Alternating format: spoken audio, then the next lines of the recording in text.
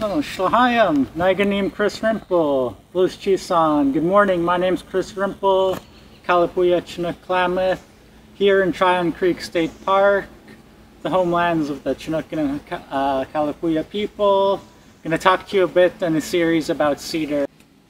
So cedar is one of those important different plant relatives for our tribes here.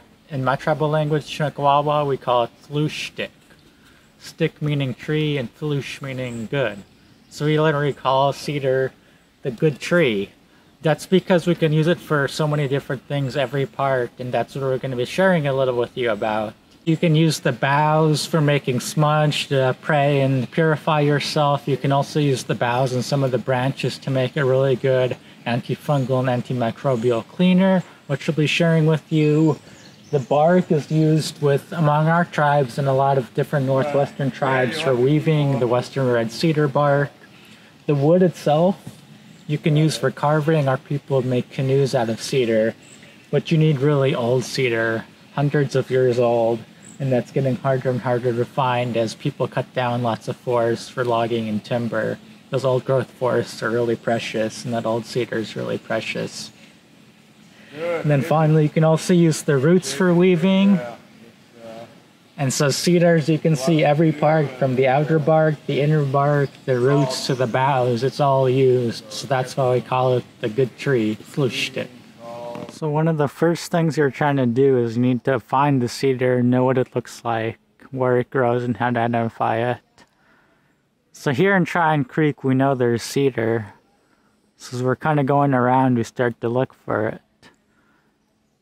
As I move the camera, see if you can spot a cedar sometime, just by its branches, because that's usually the easiest way to find the cedar. So yeah, the boughs are the easiest way to identify cedar. Like we saw in that picture, once you get used to it, you can recognize it from a distance. And if you get up close, you see they kind of branch, they've got that green, they're a little scaly, a little prickly. And the nice thing about cedar is since it's an evergreen, the leaves and branches and boughs are on it year round, so you can find it throughout the year.